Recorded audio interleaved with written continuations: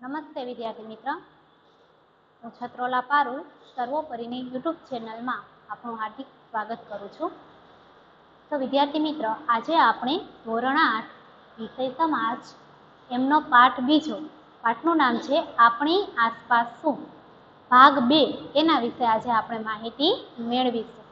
તો વિદ્યાર્થી મિત્ર, આપણે આપણી આસપાસ શું? એનો ભાગ એકની અંદર જોયું હતું કે મૃદાવરણ કોને કહેવાય? પૃથ્વી પર કેટલા આવરણો છે? એની ચર્ચા આપણે કરી હતી તો કે પૃથ્વી ઉપર કેટલા આવરણો છે એની ચર્ચા કરી કરી લીધી છે આપણે? છતાં બીજી વખત જોઈ લઈએ. કેટલા આવરણ છે? તો કે ચાર. ક્યાં ક્યાં? મૃદાવરણ, જલાવરણ, વાતાવરણ અને જીવાવરણ. આ ચાર આવરણો પૃથ્વી ઉપર આવેલા છે. એમાં આપણે મૃદાવરણ વિશે વાત કરી હતી કે મૃદાવરણ કોને કહેવાય? તો કે જેના ઉપર આપણે રહીએ છીએ.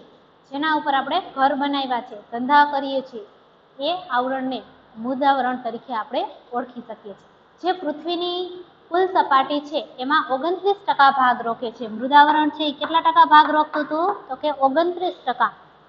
એની ચર્ચા આપણે કરી હતી કે પૃથ્વીના પેટાળની અંદર જે રસ છે, એને મેઘમા કહેવાય છે, ભૂરસ કહેવાય છે. તો આજે આપણે જલાવરણ વિશે જોશું. તો જો મિત્ર, જલાવરણ છે કોને કહેવાય? તો જલ પ્લસ આવરણ, આની સંધિ છૂટી પાડો તમે. તો કે જલ પ્લસ આવરણ. એટલે કે જલ એટલે શું થાય? તો કે પાણી. આવરણ એટલે પળ તો આ જે પાણીનું આવરણ છે, એને આપણે જલાવરણ કહી શકીએ છીએ. તો જેવી રીતે મૃદાવરણ છે ઓગણત્રીસ ટકા ભાગ રોકે છે.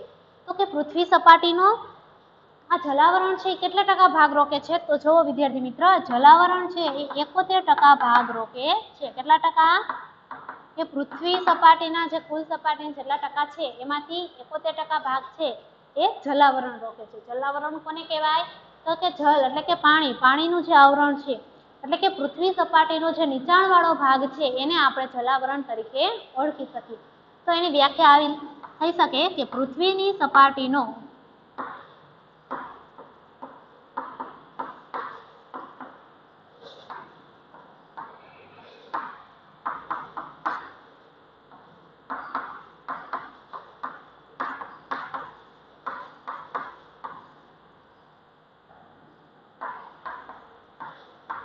જલાવરણ કોને કહેવાય? તો કે આપણી જે પૃથ્વી છે, એની સપાટીનો જે નીચાણવાળો ભાગ છે કે જ્યાં પાણી ભરાયેલું છે, એને આપણે જલાવરણ તરીકે ઓળખી શકીએ છીએ.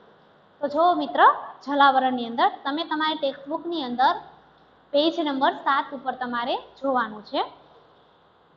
હવે ધનવીન છે, એના મમ્મીને કહે છે કે હવે આ બે મૃદાવરણ વિશે તે મને સમજાવ્યું. તો હવે મને જલાવરણ એટલે શું? તે કહે. એટલે એના મમ્મી કહે છે, ચાલ, હું તને હવે જરલા, જલાવરણ વિશે માહિતી આપું. કે પૃથ્વી સપાટીનો જે નીચાણવાળો ભાગ છે, એને આપણે શું કહીએ છીએ? તો કે જલાવરણ. હવે પૃથ્વી સપાટી પર ભૂમિ વિસ્તાર કરતાં પાણી વિસ્તારનું પ્રમાણ વધારે છે. એ તમને ખ્યાલ આવી ગયો હશે. કેવી રીતે? તો કે આપણે અહીંયા વાત કરી, મૃદાવરણ છે, ઓગણત્રીસ ટકા રોકે છે ભાગ અને જલાવરણ એકોતેર ટકા. તો પૃથ્વીની સપાટી ઉપર પાણીનું જે વિસ્તાર છે, એ જમીન વિસ્તાર કરતાં વધુ છે. એટલે કે જલાવરણ છે એ મૃદાવરણ કરતાં વધારે જગ્યા રોકે છે. હવે જલાવરણ આપણે આશરે છે એકોતેર ટકા જેટલો જમીનનો ભાગ રોકે છે. તો જલાવરણની અંદર શેનો શેનો સમાવેશ થાય? તો કે વિશાળ જળ ભંડાર ધરાવતા જે ભાગો છે, એટલે કે મહાસાગરો છે, સમુદ્ર છે, સાગર છે, જેને આપણે જલાવરણ તરીકે ઓળખી શકીએ છીએ. તો જે ચાર જે સમુદ્ર છે, એના વિશે આપણે જોઈએ. કે જે પેસેફિક આ નામ તમે જાણીતું હશે. પેસેફિક મહાસાગર છે. બીજો કયો મહાસાગર છે? તો કે એટલેન્ટિક એટલેન્ટિક પછી હિન્દ મહાસાગર. અને ચોથો તો કે આર્કટિક પૃથ્વી ઉપર આ ચાર મહાસાગર આવેલા છે. પેસેફિક એટલેન્ટિક હિન્દ મહાસાગર અને આર્કટિક મહાસાગર. જે સૌથી વધારે પાણીનો જથ્થો ધરાવે છે. ત્યાર પછી જુઓ વિદ્યાર્થી મિત્ર, કે આ બધા મહાસાગર છે એકબીજા સાથે સંકળાયેલા હોય છે, એટલે કે એકબીજા સાથે જોડાયેલા હોય છે. ભૂમિ વિસ્તારો પાસે આવા સ્થાનિક જળ વિસ્તારો જેવા કે સમુદ્ર, ઉપસાગર, અખાત, નદી, સરોવર, આના સિવાય ઘણા બધા છે એ જલાવરણ તરીકે આવેલા હોય છે. જેમાં જે સમુદ્રમાં જે પાણી હોય છે, એના કરતાં ઓછો જથ્થો પાણીનો હોય છે. જે સામુદ્ર ધુનીના નામે પણ આપણે એને ઓળખીએ છીએ. પૃથ્વી પરના મહાસાગરો ખૂબ જ વિશાળ અને ઊંડા છે. જે આ મહાસાગર છે એ ખૂબ જ વિશાળ એટલે કે મોટા અને ઊંડા પણ છે. કેટલીક જગ્યાએ દસથી અગિયાર કિમી જેટલી ઊંડી ખાઈડો આવેલી છે. જે આ સાગરો છે, સમુદ્ર છે, એની અંદર દસથી અગિયાર કિમી ઊંડી ખાઈડો પણ સમુદ્રની અંદર આવેલી હોય છે. મહાસાગરના તળિયે પણ પૃથ્વીની સપાટીની જેમ ઊંચા પહાડ, વિશાળ મેદાન, ઉચ્ચ પ્રદેશ, ખીણ, આ બધું મહાસાગરના તળિયે આવેલું હોય છે. હવે ધનવીન છે, એના મમ્મીને કહે છે કે, મમ્મી, આ સમુદ્રનું કેટલું પાણી હશે? કે, સમુદ્ર તો વિશાળ છે, એનું કેટલું બધું પાણી છે? પણ એ બધું પાણી ખારું છે. તો સમુદ્ર તો આપણા માટે કોઈ જ રીતે ઉપયોગી નહીં ને? એમના મમ્મીને ધનવીન છે, એ પ્રશ્ન કરે છે. તો કે, સમુદ્ર છે, એ આપણને કઈ રીતે ઉપયોગી થઈ શકે? એટલે એના મમ્મી કહે છે, આ બેટા, કે પૃથ્વી પર જેટલું પાણી છે, એમાં સત્તાણું ટકા કેટલું પાણી? તો કે સત્તાણું ટકા પાણી છે, એ સમુદ્રમાં આવેલું છે. ત્યાં સમુદ્રમાં. એટલે કે મહાસાગરોમાં, એટલે કે ખારું પાણી છે, સત્તાણું ટકા. પૃથ્વી ઉપર જેટલું પાણી જથ્થો છે, એમાંથી સત્તાણું ટકા પાણી તો છે, એ સમુદ્રની અંદર છે, તો એ તો બધું ખારું પાણી છે. તો પીવાલાયક પાણી છે આપણી પાસે. સાવ એટલે સાવ ઓછું પાણી છે. હવે બાકી જે પાણી વધે છે, સત્તાણું ટકા સમુદ્રમાં છે. હવે બાકી જે પાણી વધ્યું, એમાંથી આશરે પોણો ભાગ. જે ત્રણ ટકા પાણી વધ્યું છે, એમાંથી પોણો ભાગ તો છે, એ બંને ધ્રુવો ઉપર અને હિમાલયમાં બળફ સ્વરૂપે છે. તો એ પણ આપણને કાંઈ પાણી પીવા માટે ઉપયોગી થઈ શકે નહીં. બળફ સ્વરૂપે છે તો કે બળફને તો કાંઈ ઓગાળીને પીવાતો નથી અત્યારે. તો એ પણ પાણી છે, આપણને પીવા માટે ઉપયોગી નથી. તો પીવા માટે હવે પોણો ભાગ વહી ગયો હિમાલયમાં અને બંને ધ્રુવ ઉપર. તો પીવા માટે જે પાણી વધ્યું એ સાવ એટલે સાવ ઓછું પાણી છે. હવે બાકીનું પીવાલાયક પાણી ક્યાં છે? તો જુઓ વિદ્યાર્થી મિત્ર, બાકીના પાણી પૈકી કેટલુંક સરોવરમાં, કેટલુંક નદીઓમાં, કેટલુંક તળાવમાં અથવા તો કેટલુંક પૃથ્વીના પેટાળમાં. પૃથ્વીના પેટાળમાં. ક્યાં છે બીજું? તો પૃથ્વીના પેટાળમાંથી ઘણી વખત આપણે છે પાણી મેળવતા હોય છે ઊંડા સારકામો દ્વારા. તો આ પેટાળમાં સંગ્રહાયેલું હોય છે. પીવાલાયક પાણી છે. વિદ્યાર્થી મિત્રો, જોજો, પીવાલાયક પાણી છે આપણી પાસે સાવ એટલે ઓછું છે. પાણી વગર કોઈ પણ સજીવ સૃષ્ટિ છે, એનું અસ્તિત્વ નથી. એટલે કે પાણી વગર છે એ જીવી શકે નહીં. તો મીઠું પાણી છે જલાવરણની ભેટ છે. જે પાણી, મીઠું પાણી વહેતું આપણા માટે એ જલાવરણની ભેટ છે. એટલે પાણી છે એનો આપણે ખૂબ જ વિવેકપૂર્ણ ઉપયોગ કરવો જોઈએ. સજીવોને જીવવા માટે મીઠા પાણીની જરૂર પડે છે. તો આ મીઠું પાણી છે ક્યાંથી આવે છે? એનો મુખ્ય સ્ત્રોત શું છે? તો તમે જાણો છો કે વરસાદ દ્વારા જે પાણી આવે છે, એ પાણી છે એ જલાવરણનું મીઠું પાણી છે, એટલે કે મુખ્ય એની ભેટ છે. તો આ વરસાદ છે કેવી રીતે આવે છે વિદ્યાર્થી મિત્રો? તો વરસાદ છે એ સમુદ્રમાંથી, આપણે સમુદ્રની પાણીની વાત કરી, કઈ રીતે ઉપયોગી છે? તો કે ખારું પાણી છે, પીવા માટે નથી ઉપયોગી.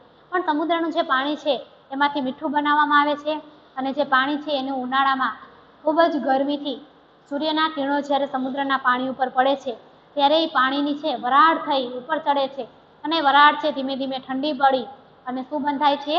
તો કે વાદળ બંધાય છે અને વાદળ છે એકદમ વજનવાળું થતા પાછું એ જમીન ઉપર વરસાદ સ્વરૂપે વરસે છે.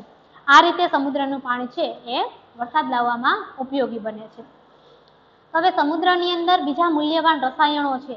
ખનિજો છે, મીઠું છે, માછલાઓ, આ બધું સમુદ્રમાંથી આપણને મળી આવે છે. તો આ રીતે સમુદ્ર છે આપણને ઉપયોગી બનતો હોય છે. જેમ ધરતી ઉપર સજીવ સૃષ્ટિ છે, એટલે કે ધરતી ઉપર પૃથ્વી ઉપર મનુષ્ય છે, બીજા બધા સજીવો છે, પ્રાણીઓ છે, જીવજંતુઓ છે, સજીવ સૃષ્ટિનું અસ્તિત્વ છે, એવી જ રીતે દરિયાની અંદર દરિયાઈ જીવસૃષ્ટિ આવેલી છે. ઘણી બધી અલગ અલગ પ્રકારની માછલીઓ અથવા તો બીજા ઘણા બધા દરિયાઈ જીવો અને કેટલીક વનસ્પતિ પણ દરિયાની અંદર, વિદ્યાર્થી મિત્રો, આવેલી હોય છે. આમ દરિયાની અંદર છે, જીવસૃષ્ટિ આવેલી છે. હવે દરિયાની અંદર જે મોજા આવે છે, ભરતી આવે છે, પ્રવાહ આવે છે, એ નાખીને આપણે વિદ્યુત શક્તિ પણ મેળવી શકાય છે. અને આ સિવાય દરિયો છે, એ બીજે ક્યાં ઉપયોગી છે? તો કે જળમાર્ગ તરીકે પણ દરિયો છે, એ ઉપયોગી બને છે. તો વિદ્યાર્થી મિત્ર, તમે તમારા ટેક્સ્ટબુકની અંદર જો અહીંયા નીચે એક નકશો આપેલો છે, તો તમે કહેશો આ નકશાની અંદર આપણો ભારત દેશ ક્યાં હશે? જલ્દીથી જોવો જોઈએ, ભારત દેશ તમને દેખાય છે આ નકશાની અંદર ક્યાંય? આ નકશો છે એ દુનિયાનો રેખાંકિત નકશો છે. કયો નકશો છે? તો કે દુનિયાનો રેખાંકિત નકશો આપેલો છે તમને. એની અંદર જુઓ ભારત દેશ ક્યાં આવેલો છે? તો જુઓ વિદ્યાર્થી મિત્ર, તમને બતાવો. અહીંયા નીચે જુઓ જ્યાં વૃત્ત આપેલા છે કર્કવૃત્ત વિષવવૃત્ત અને મકરવૃત. એમાં કર્કવૃત્તમાં સીધે લાઈનમાં તમે જુઓ છેલ્લે અહીંયા ભારત દેશ આપેલો છે. દેખાણું બધાને તમારી બુક ટેક્સ્ટ બુકની અંદર તમે જોશો એટલે અહીંયા તમને દેખાશે. તો ભારત દેશ છે, એમાંથી એક વૃત્ત પસાર થાય છે. કયું વૃત્ત પસાર થાય છે? તો એ તમને નકશામાં જોઈને ખ્યાલ આવી જશે આવી ગયો હશે કે કર્કવૃત છે, એ ભારત દેશમાંથી પસાર થાય છે. તો આ હતું જલાવરણ. તો ફરીથી આપણે જોઈ લઈએ, જલાવરણ. જલાવરણ છે એ પૃથ્વીનો કેટલા ટકા ભાગ રોકે છે? તો કે એકોતેર ટકા. જલાવરણ કોને કહેવાય? તો કે પૃથ્વી સપાટીનો જે નીચાણવાળો ભાગ છે એને આપણે જલાવરણ કહીશું. આ ચાર છે મહાસાગર છે, પેસિફિક, એટલાન્ટિક હિન્દ અને આર્કટિક. એમાં પૃથ્વી ઉપર જેટલું પાણી આવેલું છે એમાં સત્તાણું ટકા પાણી ક્યાં છે? તો કે સમુદ્રમાં. બાકીનું જે પાણી વધે છે એમાંથી પોણો ભાગ છે એ બંને ધ્રુવ ઉપર અને હિમાલયમાં છે. અને જે પીવાલાયક પાણી છે એ સાવ ઓછું છે, નદી, સરોવર, તળાવ કૂવામાં અથવા તો પૃથ્વીના પેટાળમાં. આ થયું જલાવરણ. હવે આપણે વાત કરીશું વાતાવરણ. તો જો વિદ્યાર્થી મિત્ર, વાતાવરણ છે એ કોને કહેવાય? તો કે પૃથ્વીની ચારે બાજુ વીંટળાઈને આવેલા હવાના આવરણને વાતાવરણ કહેવાય. કોને કહેશું વાતાવરણ?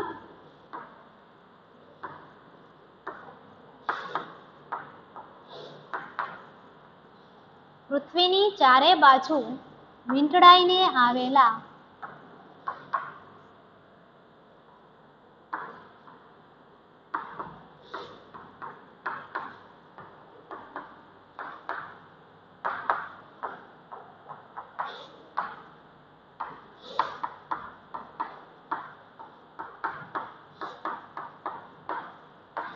જો વિદ્યાર્થી મિત્ર, પૃથ્વીની ચારે બાજુ વીંટળાઈને આવેલા હવાના આવરણને કેને હવાના આવરણને આપણે વાતાવરણ તરીકે ઓળખીએ છીએ.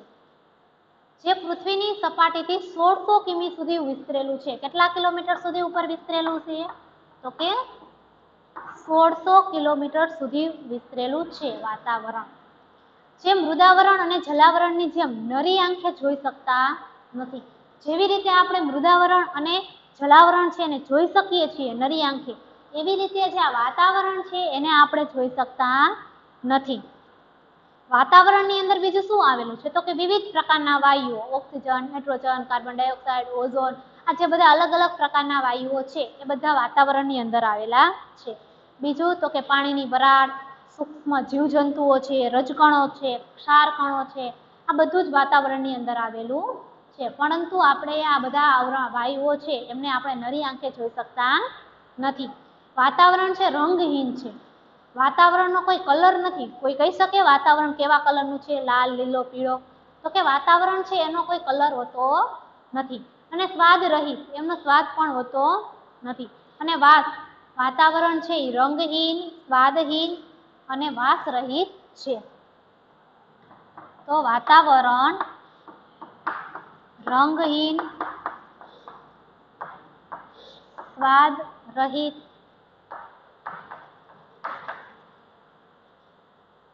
વાતાવરણ રંગીન સ્વાદહિત અને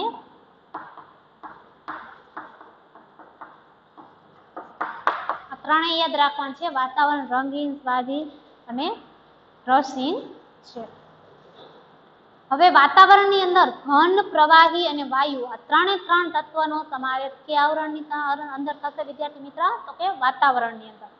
હવે વાતાવરણની અંદર ઇઠ્ઠોતેર ટકા જેટલો નાઇટ્રોજન આવેલો છે, એકવીસ ટકા ઓક્સિજન અને એક ટકા જેટલા અન્ય વાયુ આવેલા છે. ઇઠ્ઠોતેર ટકા શું આવેલું છે? તો કે નાઇટ્રોજન અને એકવીસ ટકા છે ઓક્સિજન અને એક ટકાની અંદર અન્ય એટલે કે બીજા બધા વાયુઓ છે, આવેલા છે. અન્ય વાયુઓ આવેલા છે. આ યાદ રાખવાનું છે કે ઘન પ્રવાહી વાયુ આ ત્રણે ત્રણ તત્વોનો સમાવેશ છે. એ વાતાવરણની અંદર થશે, પછી ઇઠોતેર ટકા છે નાઇટ્રોજન, એકવીસ ટકા ઓક્સિજન અને એક ટકાની અંદર અન્ય વાયુ આવેલા છે. તો આ થયું વાતાવરણ વિશે. તો વિદ્યાર્થી મિત્ર, આજનું તમારું હોમવર્ક કે જલાવરણ છે એમના વિશે અને આ વાતાવરણ વિશે આજે આપણે જેટલું આ વિડીયાની અંદર શીખડાયું, એટલું બધું છે એ રફ બુકની અંદર એક વખત સારા અક્ષરે લખી અને પાકી નોટમાં લખવાનું થશે.